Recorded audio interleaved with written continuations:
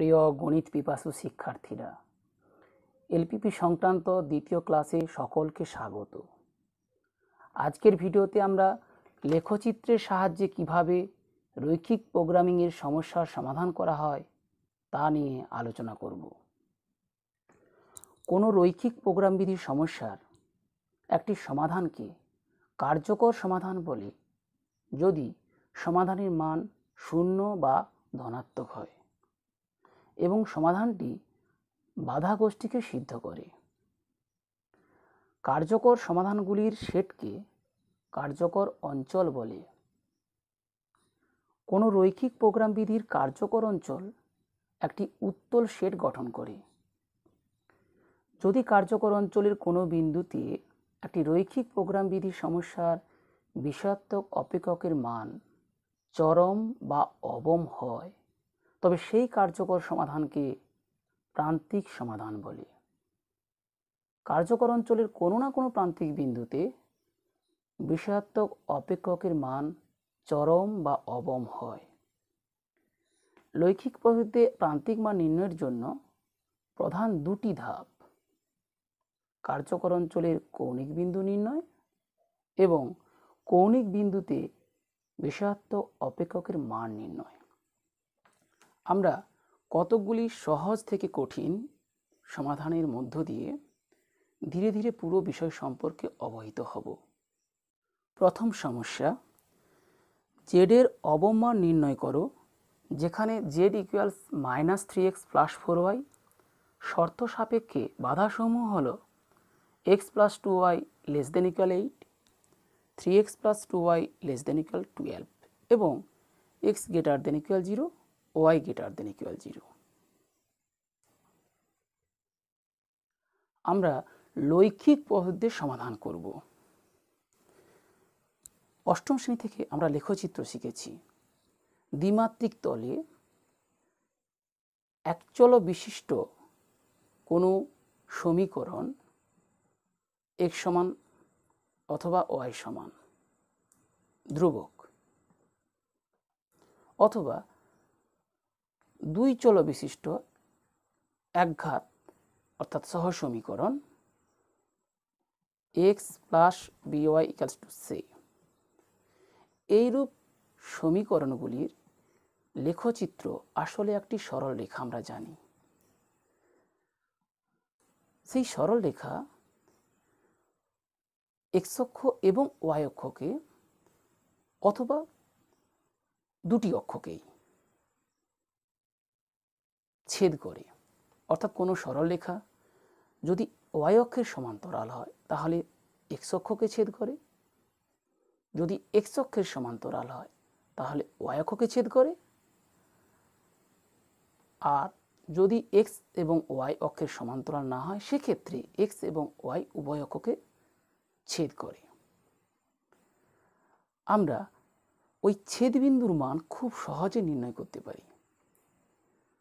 সরল রেখার সেই সমীকরণটিকে X by A plus Y by B equals one অর্থাৎ সরল রেখার ছেদিতাংশ আকারে প্রকাশ করে আমরা পাই। এক্স বাই এ থেকে পাই। ওই সরল রেখাটি এক্স অক্ষকে এ জিরো বিন্দুতে এবং ওয়াই অক্ষকে জিরো বি বিন্দুতে ছেদ করেছে। অথবা আমরা এভাবে না প্রকাশ করে বলতে পারি যে যখন ওয়ের মান জিরো, ওয়ের মান জিরো অর্থাৎ এক্স অক্ষের উপর, অর্থাৎ সেই সমীকরণে ওয়ের মান জিরো বসিয়ে আমরা ওই সরলরেখাটি এক্স অক্ষকে কোন বিন্দুতে ছেদ করছে বের করতে পারি? আবার এক্সের মান জিরো বসিয়ে ওয়াই অক্ষকে কোন বিন্দুতে ছেদ করছে তা বের করতে পারি। যাই হোক, আমরা সরল রেখাটি এক্স অক্ষ এবং ওয়াই অক্ষকে যে দুটি বিন্দু ছেদ করেছে, সেই দুটি বিন্দু নির্ণয়ের মাধ্যমে আসলে সরল রেখাটি নির্ণয় করব। এঁকে নেব। তারপরের বিষয় কি? সেটা জানার আগে দেখো, এখানে সব অসমীকরণ দেওয়া আছে। অসমীকরণের ছবি আমরা কীভাবে করব? আমরা তো সমীকরণের ছবি জানি। বিষয়টা এরকম, ধরি এক্স ইকুয়ালস ফাইভ অর্থাৎ এই দ্বিমাত্রিক তলে এক্সের মান ফাইভ আমি ধরে নিলাম এক, দুই, তিন, চার, পাঁচ, অর্থাৎ এই রকম অবস্থানে এক্সের মান সর্বদা ফাইভ অর্থাৎ এক্স ইকালস টু ফাইভ আসলে ওয়াই অক্ষের সমান্তরাল একটি সরল রেখাকে বোঝায়। এক্স ইকুয়াল ফাইভ না হয়ে এক্স নট ইকুয়াল ফাইভ হলে অর্থাৎ এক্সের মান পাঁচ নয়, তাহলে পাঁচের বেশি অথবা পাঁচের কমকে বোঝায়। সেক্ষেত্রে আমি এই এক্সের মান পাঁচ বাদ দিয়ে ডান দিকে অথবা পাঁচ বাদ দিয়ে বাঁ দিকের অঞ্চলকে মান্যতা দেব। কিন্তু যদি বলা থাকে X greater than equal five অর্থাৎ এক্সের মান পাঁচ বা পাঁচেরই বেশি সেক্ষেত্রে আমি এক্সের মান পাঁচের জন্য একটি সরলরেখা অঙ্কন করব। তারপর পাঁচের বেশি অর্থে, অর্থাৎ এই তলের অর্ধ দিকটি, এই দিকটি, এই রেখাটি দুভাগে ভাগ করছে, এই অর্ধ দিকটিকে সমাধান অঞ্চল বলে চিহ্নিত করব। একইভাবে X less than equal five বললে, প্রথমে এক্স ইকুয়াল ফাইভ অর্থাৎ এই সরলরেখাটা অঙ্কনের পরে তার এই দিকটাকে আমি সমাধান অঞ্চল বলে চিহ্নিত করব। অর্থাৎ অসমীকরণের লেখচিত্র আঁকতে গিয়ে আমরা প্রথমে এই অসমীকরণগুলির অনুরূপ সমীকরণ নির্ণয় করব। সেই অনুরূপ সমীকরণগুলির লেখরূপ অর্থাৎ প্রথমে সরল রেখা অঙ্কন করব। এখানে X plus two Y less than equal eight এবং three X plus two Y less than equal twelve প্রদত্ত অসমীকরণ দুটির অনুরূপ সমীকরণ হল এক্স প্লাস টু ওয়াই এখানে X plus two Y less than equal eight অর্থাৎ এক্স প্লাস টু ওয়াইয়ের মান আটের সমান অথবা কম। তাহলে সমান ধরে নিই অনুরূপ সমীকরণ এবং পরের অসমীকরণ three X plus two Y less than equal twelve এই অসমীকরণের অনুরূপ সমীকরণ ইকুয়াল টুয়েলভ এটা করা খুবই সহজ।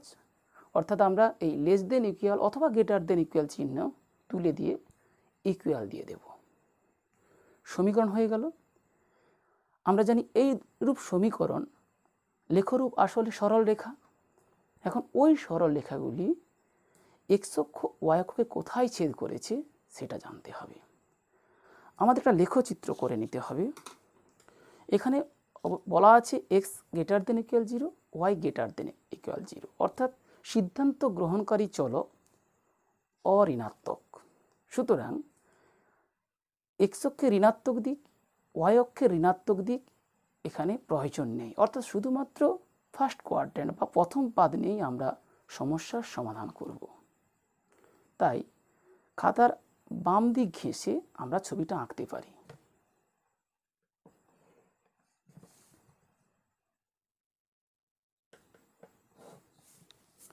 অর্থাৎ পরস্পর লম্ব দুটি অক্ষর নিলাম।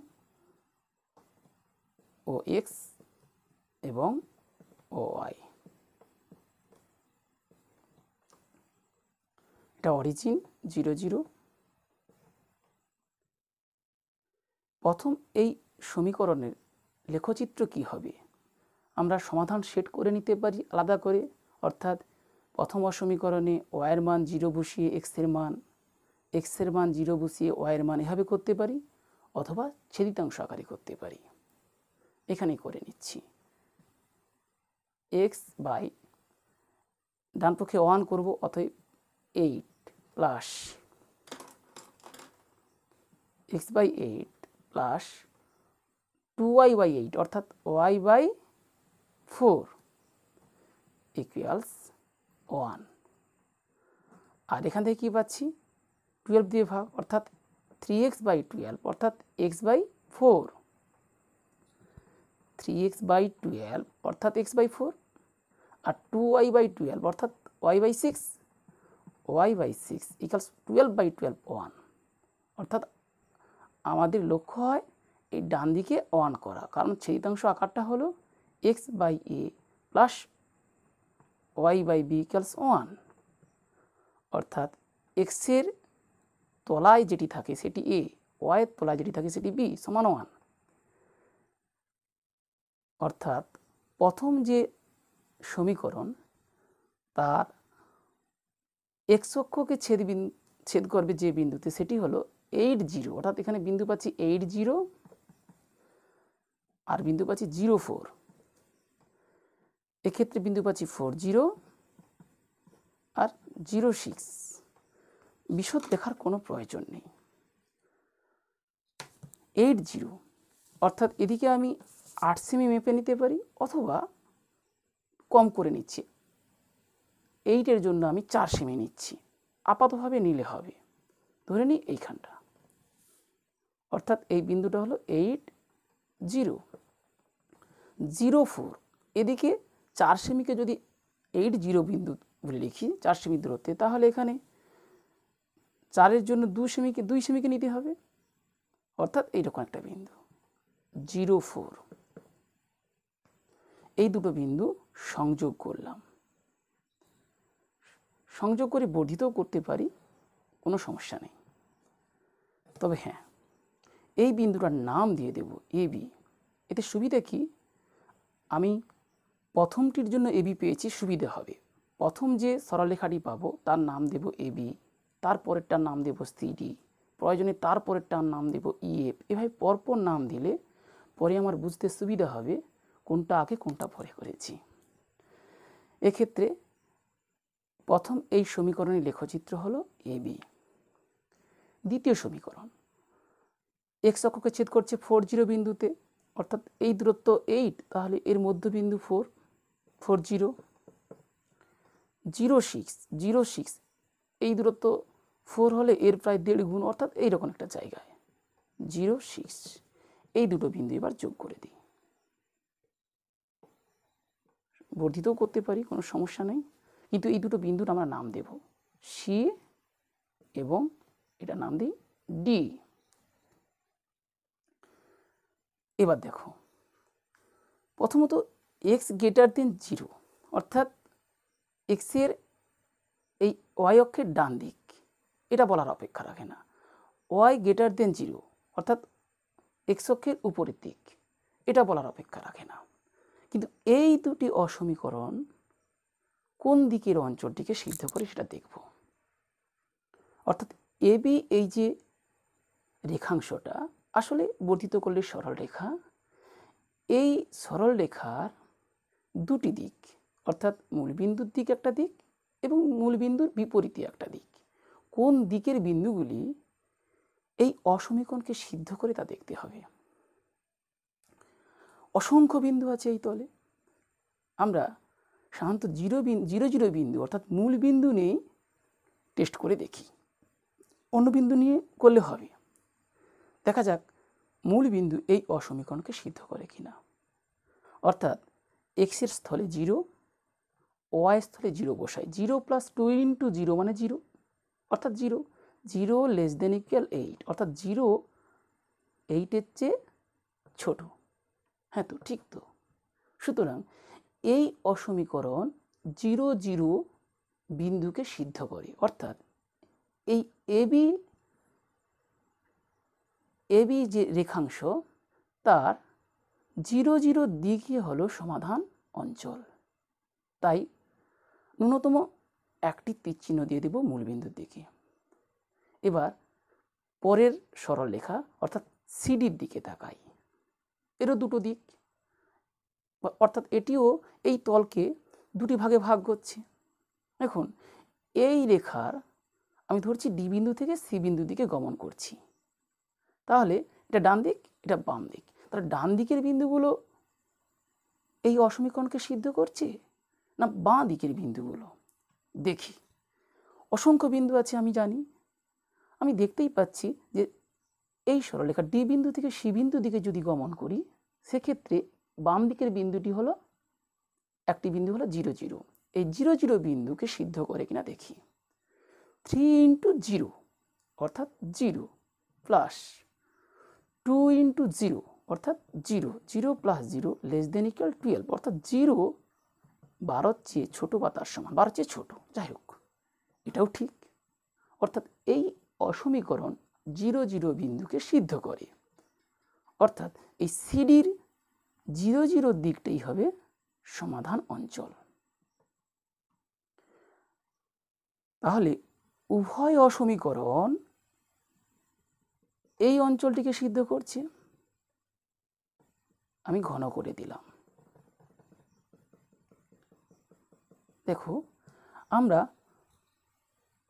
প্রান্তীয় বিন্দু কি কি পেলাম? বা কৌণিক বিন্দু কি কি পেলাম?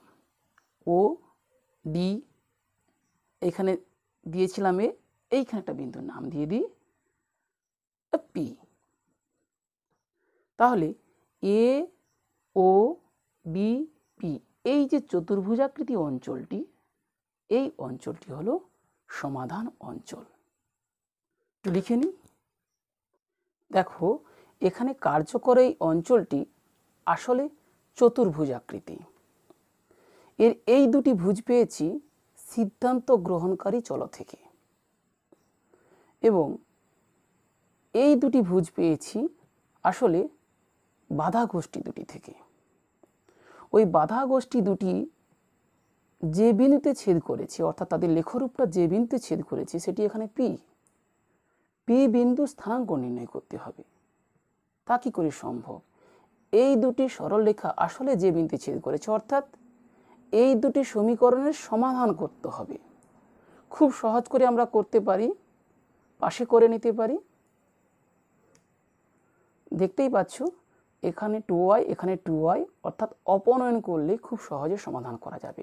এবং এখানে থ্রি এক্স এখানে এক্স সুতরাং আমি এই দু নম্বর থেকে এক নম্বরটা বাদ দিয়ে দিই। থ্রি এক্স থেকে এক্স বাদ দিলে টু এক্স ইকুয়ালস বারো থেকে আট বিয়োগ করলে চার, অর্থাৎ এক্সের মান টু আবার এক্সের মান যখন টু তাহলে টু প্লাস প্রথম সমীকরণে বসাচ্ছি two Y equals eight two Y equals two Y equals তাহলে সিক্স ওয়াই ইকুয়ালস থ্রি অর্থাৎ টু থ্রি বিন্দু। তাই পি বিন্দু স্থানাঙ্ক লিখব টু, থ্রি। এটা সমাধান করে দেখাতে পারি? বা সরাসরি লিখলেই হবে। পাশে প্রয়োজনে সমাধান করে দেখাবো, যেহেতু করলাম। আর এই দিকেরগুলো আমি তোমাদের বোঝানোর জন্য বলেছি। তাহলে এখানে কৌণিক বিন্দু কি কি পাচ্ছি? এই নিয়ে একটা ছক তৈরি করে নেব আমরা। যে কৌণিক বিন্দু এবং সেক্ষেত্রে যেটির মান কত? প্রথমে কৌণিক বিন্দুগুলি লিখলাম অর্থাৎ ও ডি পি এবং এ। তাদের স্থানাঙ্কগুলি উল্লেখ করলাম। কেন? এখানে এক্স এবং ওয়াইয়ের মান বসাবো বলে।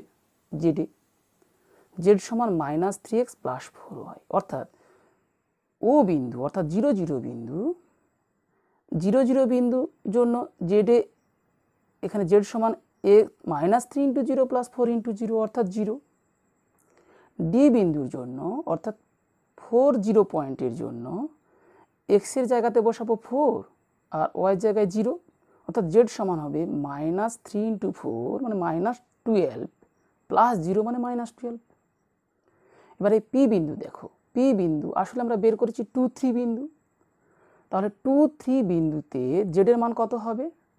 মাইনাস থ্রি ইন্টু এক্সের মান টু প্লাস ফোর ইন্টু ওয়াইয়ের মান থ্রি অর্থাৎ মাইনাস থ্রি ইন্টু টু মানে minus six plus four into three মানে টুয়েলভ অর্থাৎ বারো থেকে ছয় কম মানে ছয়। একইভাবে এ বিন্দু অর্থাৎ জিরো ফোর বিন্দু জিরো ফোর বিন্দুতে জেডের মান কত? জেড সমান মাইনাস থ্রি এক্স অর্থাৎ minus three into zero plus four into Y মানে ফোর ইন্টু ফোর চার চারে ষোলো। দেখতেই পাচ্ছ, এই যে মান জিরো মাইনাস টুয়েলভ, সিক্স এবং সিক্সটিন, এদের মধ্যে সবচেয়ে কম মানটা কত? অবম কত? Minus twelve. এটাই অবম কারণ আমাকে এখানে নির্ণয় করতে বলেছে অবম মান।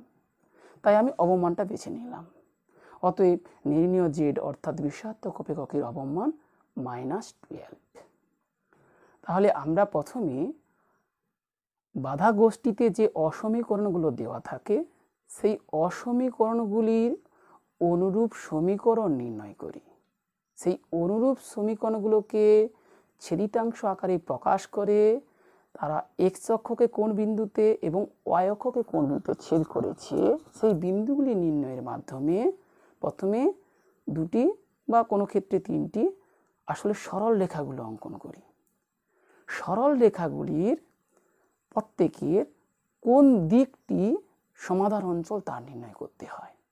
কোন দিকটি সমাধান অঞ্চল তা নির্ণয়ের খুবই সহজ উপায় হলো, আমরা প্রদত্ত অসমীকরণগুলোতে এক্সের স্থলে জিরো ওয়াই স্থলে জিরো বসাই। অর্থাৎ জিরো জিরো বিন্দু ওই অসমীকরণকে সিদ্ধ করে কিনা তা পরীক্ষা করে দেখি। যদি অসমীকরণকে সিদ্ধ করে, তাহলে আমরা জিরো জিরো বিন্দুর দিকে তীর চিহ্ন দিই আর নইলে তার উল্টো দিকে তীর চিহ্ন দিই। তারপরে ওই বাধা গোষ্ঠীগুলির সাধারণ সমাধান অঞ্চল, অর্থাৎ এক্ষেত্রে এবির সমাধান অঞ্চল এই দিকটাতে আর সিডির সমাধান অঞ্চল এই দিকটাতে, তাহলে এই অংশগুলো এই অংশগুলো দেখো উভয়ের নয়, এই অংশটা উভয়ের। শুধু তাই নয়, এক্ষেত্রে ওয়াইয়ের মান পজিটিভ বলা আছে এক্সের মান পজিটিভ বলা আছে, তার মানে এই যে সীমাবদ্ধ অঞ্চলটা, এটাই হলো সমাধান অঞ্চল। এই সমাধান অঞ্চলের শীর্ষ বিন্দুগুলি, অর্থাৎ এই বিন্দুগুলি, আসলে কৌণিক বিন্দু, এই কৌণিক বিন্দুগুলিতে আমরা জেডের মান নির্ণয় করি। এক্ষেত্রে জেডের অপমান নির্ণয় করতে বলা হয়েছে, তাই সবচেয়ে ছোট মানটাকে আমরা বেছে নিলাম। আশা করি তোমরা এই সমস্যাটির সমাধান বুঝতে পারলে। এইভাবে আমরা পরবর্তী সময়েও একটির পর একটি সমস্যার সমাধানের মাধ্যমে রৈখিক প্রোগ্রাম বিধির সমস্যার সমাধান কৌশল ভালোভাবে জেনে নেব। সাথে থেকো সুস্থ থেকো। ধন্যবাদ।